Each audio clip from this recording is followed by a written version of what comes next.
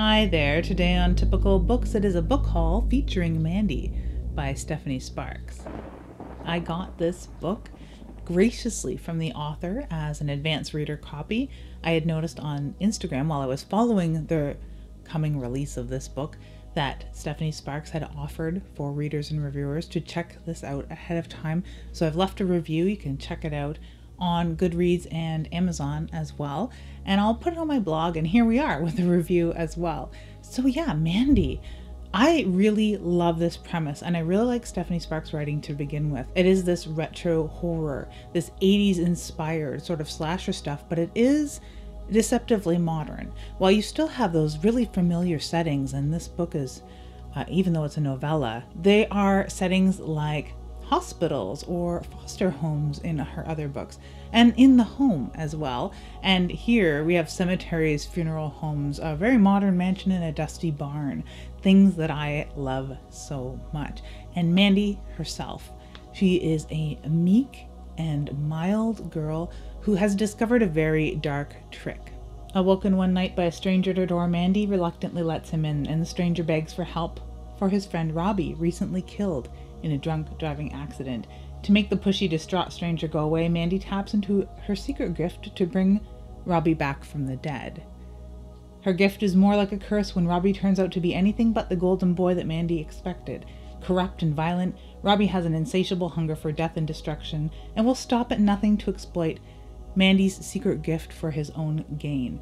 But Robbie soon discovers that when you mess with the weird girl, you get more than you've bargained for. And that particular sort of girl features in a lot of like 80s style horror. And it's a kind of girl that seems to be off the wayside these days when it comes to horror fiction. So I really like exploring these outcast sort of girls.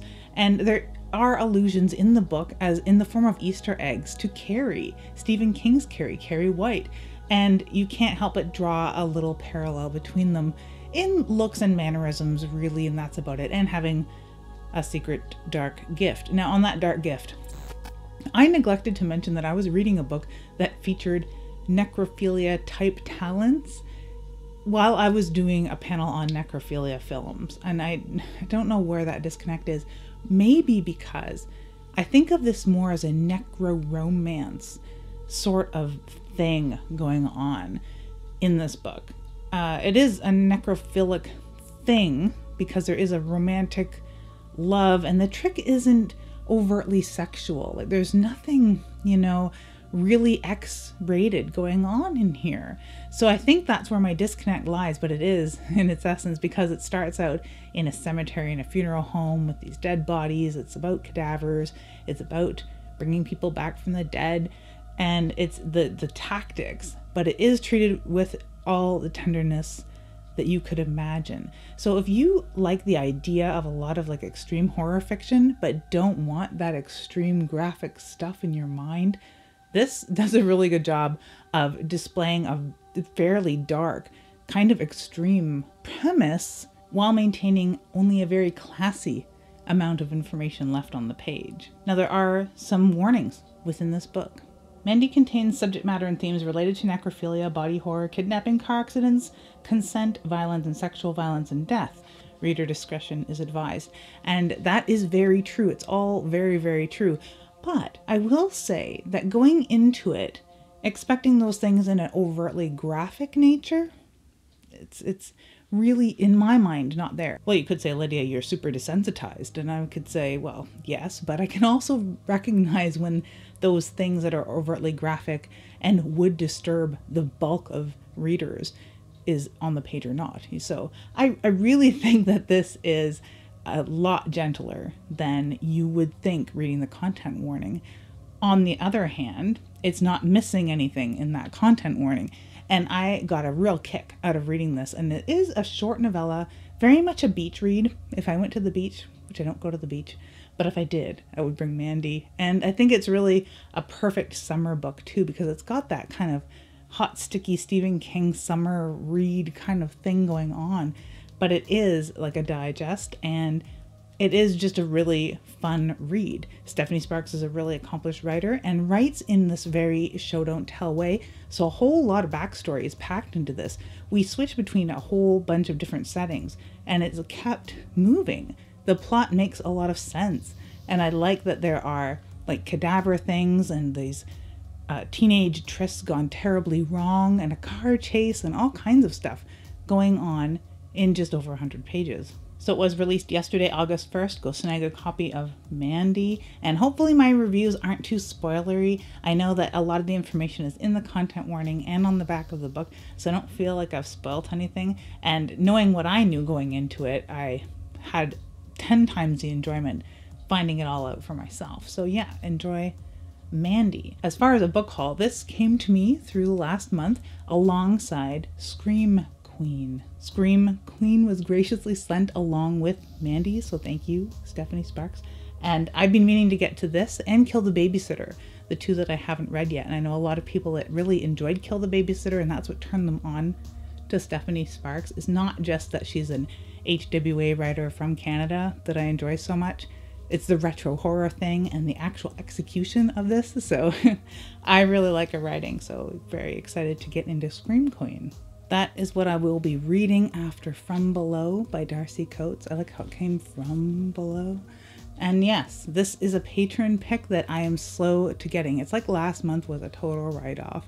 So I've got yet another patron pick coming up on the heels of this. So I'm going to get to it really quick. I know Darcy Coates reads very quickly, even though it is a very thick book, but I know I'll have a lot of fun with that.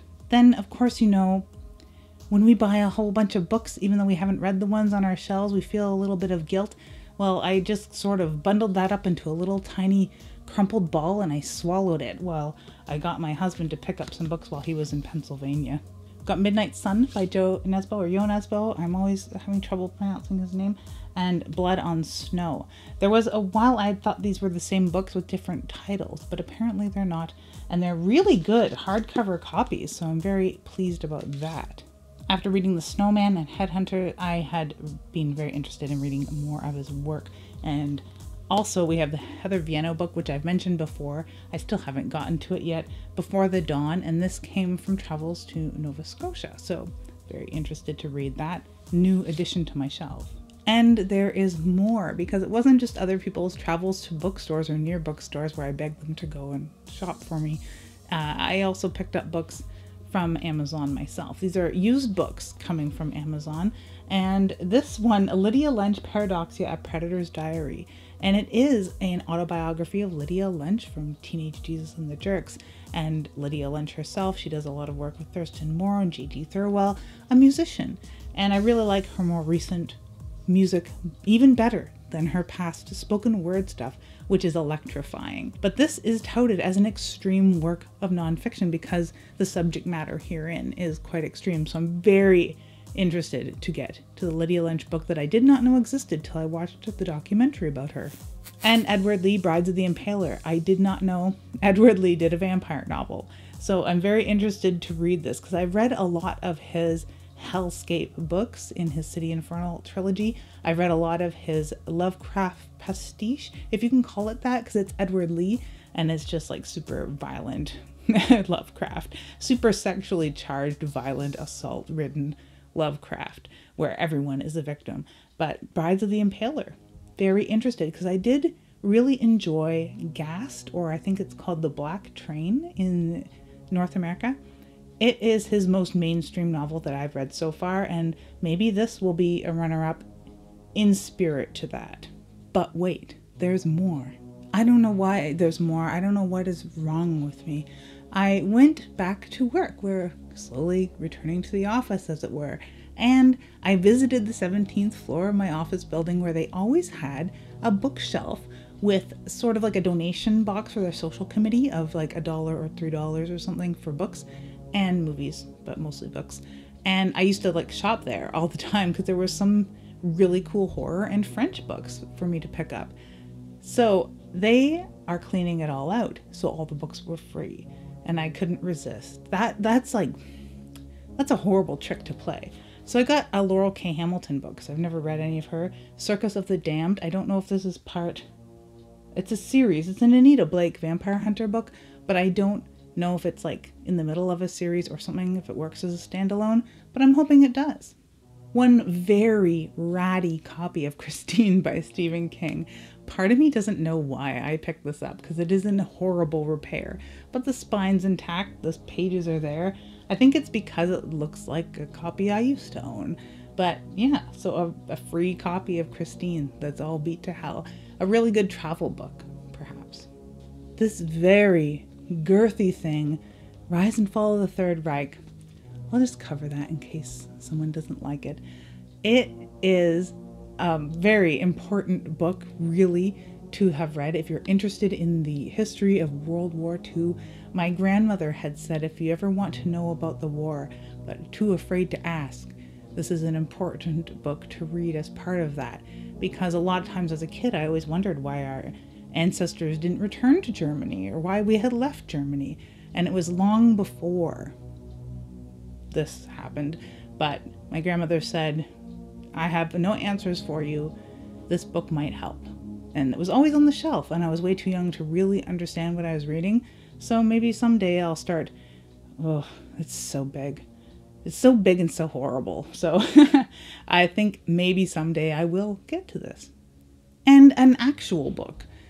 Dean Koontz, The Mask. So it's a Dean Koontz I've never read, and I was really pleased to see uh, in very good repair Dean Koontz. I mean, you would want to expect that. There's a lot of James Patterson there all the time. I've picked up James Patterson there before. I've seen other Dean Koontz too, but this particular one was in the best repair and free. I mean, how could I resist? I feel like there's other books that I picked up that I'm missing. It's like I'm scanning my office. Like, are there any other secret piles just hiding? I'm positive there's a book or two that I'm leaving out of this. But suffice it to say, that's a great haul of books for the summertime without me really having to go anywhere. Coming up next, there will be a video with some of the new releases from Horror Writers Association authors in the beginning of August, because there's quite a few already, and maybe another video like the last one I did about books with Psycho in the title. I want to do books with Hell in the title. So if there's anything that you think I ought to be reading, whether it has Hell in the title or not, or if you've picked up Mandy by Stephanie Sparks, definitely let me know in the comments. Thank you so much for watching, and have an ookie spooky day. Thank you.